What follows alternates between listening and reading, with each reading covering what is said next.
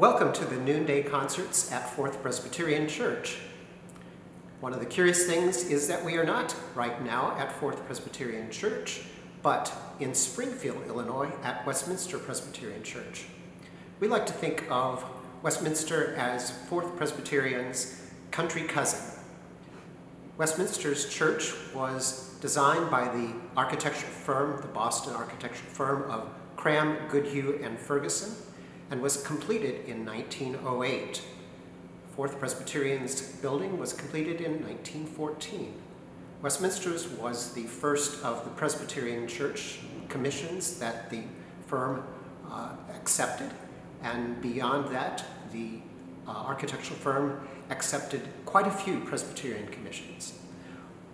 Amongst the uh, signature items, we do have uh, conic windows. We have a window of Harry Goodhue, and then we do have stalls that were a gift of Robert Todd Lincoln.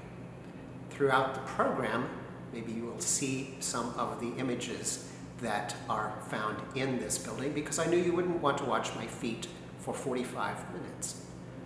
The program this afternoon starts with the tuba tune of Norman Cocker, followed by a prelude of Vincent Lubeck. Then we have a choral prelude of Johannes Brahms, which starts my summer theme, My Heart Abounds with Pleasure in This Fair Summertime.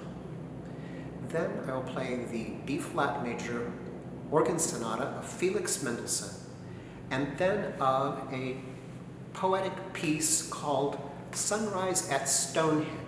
And so we see or hear uh, the early morning dawn and finally the sunrise at Stonehenge. This piece is written by Frederick H. Wood.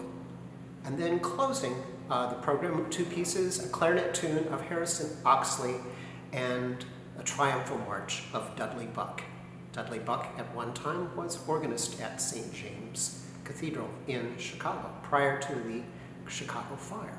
So we have several Chicago connections in this program. So I hope you enjoyed.